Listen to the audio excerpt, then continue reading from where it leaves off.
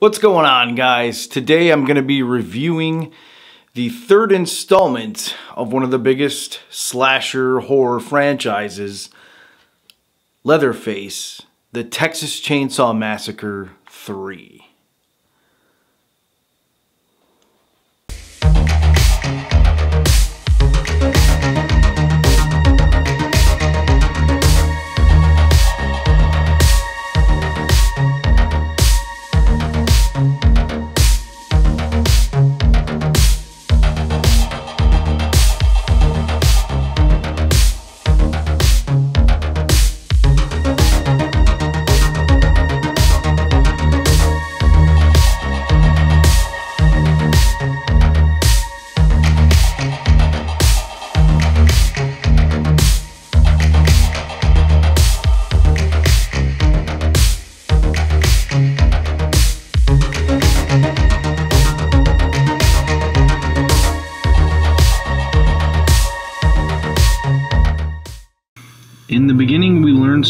The Texas Chainsaw Massacre's history.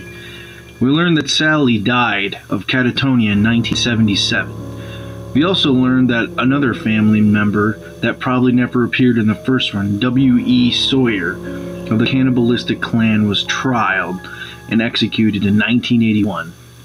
During W.E.'s trial, the jury had come to the conclusion that since Leatherface was not taken into custody, they stated that it is unsure whether or not there is a Leatherface in reality.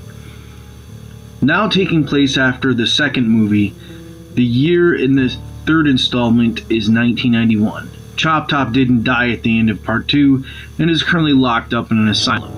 Leatherface went off to live with some relatives along with Grandpa after the incident in 1987 as well. Leatherface continues along with his reign of terror as the killing machine he was before with the Sawyers, keeping the Texas Chainsaw Massacre alive, along with his relatives too. Driving through Texas, young yuppie couple Michelle, played by Kate Hodge, and Ryan, played by William Butler, stop at the Last Chance gas station. But after they witness the owner attacking a hitchhiker named Tex, they panic and flee, in their hasty departure, they get lost and soon find themselves pursued by the chainsaw-toting maniac known as Leatherface. While running, the couple bump into survivalist Benny, played by Ken Foree, who they team up with in effort to escape. Leatherface, the Texas Chainsaw Massacre, uh, is a pretty fun film. I think it's worth checking out. Uh, it's not an absolute must-see, but I think it's an honest, uh, you know, fair entry into uh, the franchise. Um, you know, I, I think unlike a lot of the other films, the first Texas Chainsaw Massacre is really a standalone piece of cinema. I think that, you know, influenced a lot of other filmmakers like Darren Aronofsky, who did Requiem for a Dream. You know, it, it's just really a psychological, just horrifying film. It, you know, the original movie, and, and Tobe Hooper kind of made a, a fucked up fairy tale of a collection of his own fears and phobias. He's often cited in saying that he had relatives that would come scare him with stories of Ed Gein, or he knew somebody that as a child was in med school and he skinned a cadaver and wore the face at a Halloween party. So it's stuff like that I think that really, you know, is what that original film was about. But we ultimately got Leatherface from it, which I just think kind of blended in with your Michael Myers, your Jason Voorhees, Freddy Krueger, you know, the slasher genres. Uh, even though I think it, there was quite a difference going on in that the first film, you know, which a lot of people don't in this day and age, if you're younger, you don't really know. You think about the Jessica Alba 2003 remake, uh, which is even after this. This is from 1990. Um, so, but what I think that what it is in this film is that they were trying to make Leatherface much more a part of that aspect the you know to, to market like alongside your your michael myers and jasons Uh because uh, he's he's you know a little bit more menacing in this one. He, he's not this sort of childish clown-like person, I guess.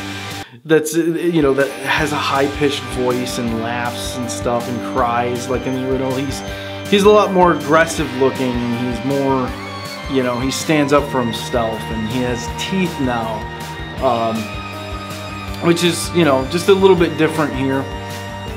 uh, you know, I think the first half of this film is really interesting. Like it starts out, it sets up really well with the couple kind of getting in the the, uh, the scuffle at the gas station, and then later on getting in a car accident. But what what I really do love about this film the most, more than anything, is Ken Foree. I mean, Ken Foree's fucking awesome. He's in Dawn of the Dead, the original. He's he's the dad in Kenan and Kel. Um, he's in you know, uh, Stuart Gordon's From Beyond as, as Detective Bubba, fucking amazing in that.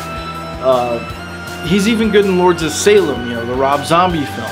Uh, Ken Foree's the shit. He's the right amount of ass-kicking kind of badass dude and comedy relief, you know, but none none of it's over the top. He's not Stallone and he's not, you know, Jack Black. He's just fucking right. And uh, yeah, so he, he's enjoyable in this film, and like probably I one of the best parts of it. Uh, I, however, did not like uh, Kate Hodge in this. I found her to be all over the fucking place. That's the really the worst part of it. Um, because they wanted to make her be this like transgressive female lead that overcomes shit and and starts fighting back, which she does, but then they they they kind of have her do that then 5 fucking minutes later she's the helpless victim again. Like I just didn't understand that and one of the biggest pet peeves in the whole movie is you know they're, they're trying to kind of recreate the dinner scene from the original which i do like that this film nods to the original in a lot of ways but anyway and you know, instead of, it's very reminiscent of Sally getting tied up at the dinner table like in the original. But in this one, you know, this, this other chick, she's getting nailed. Her hands are getting, you know, she's basically getting crucified, fucking nailed to a chair. And her reaction, yeah, she's in pain and she's screaming a little, but it's almost like it don't match. It's like, what do you mean? you, you would be frantically screaming, not just, oh no. So, I mean, that was totally, and, and I don't, I'm not gonna necessarily just blame her. It seemed like the whole direction of the film was just kind of like, yeah, she's tough, and like didn't focus on that. But it's like, no, no, man, like that's torture. Like you would be, you would be fucking freaking out and maybe passing out, you know. Not to say it has to be so realistic, but come on. I mean, she she was just she acted like she got her damn knee scraped or something. Like it was really the worst part of the film. but you know, I, other than that, you know, it, it was okay. You know, uh, I, I think it's just you know that second half um, when they're kind of back and they're introducing. I felt like they were introducing characters too late in the film. Like there's a like a little girl that's like playing with dolls and all these like animal bones, and it's kind of like suggested that she's the daughter of Leatherface, which is just off. Uh, that, that's like the point in the movie where it just starts to kind of it just starts to feel forced a little with like ideas and, and characters to to where you're thinking, okay, they're, they're just trying to make a sequel here and throw everything they can. You know, and, and I'm, I'm not talking bad about the movie, but I just don't believe that it's a very, it, it just, you know, it's, it's very, what's weird is I get this and the, I think it's Texas Chainsaw Massacre Next Generation, the one with McConaughey and Renee Zellweger. I always kind of mix these two up. Um, that one's way worse than this one. This this one, it, it, it, has an honest attempt at it to be this like fairly well made slasher film. Uh, and you know, it's just I think the problem with the film is that it becomes apparent that they just kind of want you to watch these people wander around and anticipate Leatherface popping up with a chainsaw, and that happens a lot in this film. Uh, you know, it's like the main thing in the middle of the film. You're just like, that's gonna happen in like two seconds. but uh, I, I think that the blood effects in this are cool. I think the cinematography is cool, and I think it's it's pretty solid. It just sort of falls apart, and um, you know that's that's kind of the the bad thing about it. Uh, you know, I, I I think again going back to to the original, just kind of standing out as its own thing. Uh, maybe that this this film series just never really was meant to be a series.